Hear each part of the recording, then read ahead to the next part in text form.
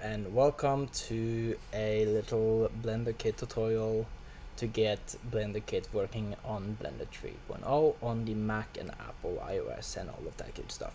So the problem I've run into is that when you download the Blender Kit file from the website, as you can see right over here, when you get to this point, if you follow other people's tutorial, you get to this page right here, and you click on download Blender Kit and it downloads into a folder. It looks like this. It looks like a blue folder.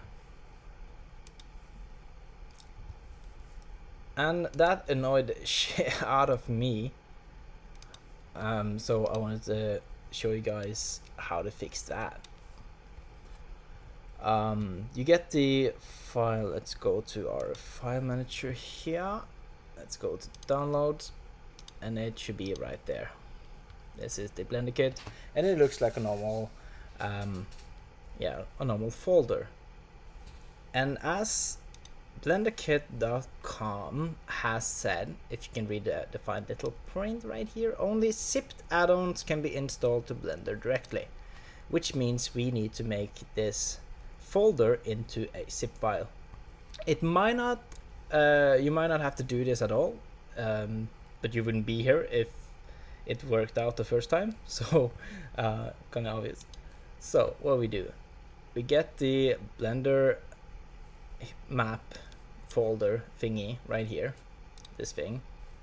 I click it once and you right click and you want to look for something that says compromise. My text is in Norwegian so it might look different for you guys but you definitely want to look for something that says compromise or uh, push together or, or something else in your local language. It should definitely be below changing name and duplicate. Yeah, it's above duplicate and below changing name. And it has this little arrows on the sides saying the name of the file. And you just want to go ahead and click that. Boom. And your smart ass computer creates a zip file out of the folder. You can now go over to Blender if it would open. Where is blender. There we go. Go to blender go to edit preference. Now click install. Go to downloads. And you can now download the blenderkit.zip file on your iOS and Apple product. If it's work for you. You just uh, install add-on. It should work. And that that's basically it uh, so this is like a last this is like a last part because I've been through a lot of tutorials that kind of tells you what to do to get Blender Kit. It is fairly simple but nobody actually tells you how to change your folders into zip files if your computer download zip files as folders. But we fixed that now and uh, yeah you're welcome. Now you should have let's Okay, so let's install it again. I guess I effed up somewhere. Go to download, go to zip file, install the add-on.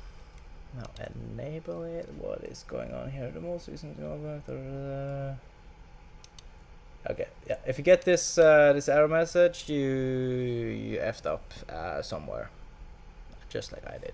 I think I have too many zip files.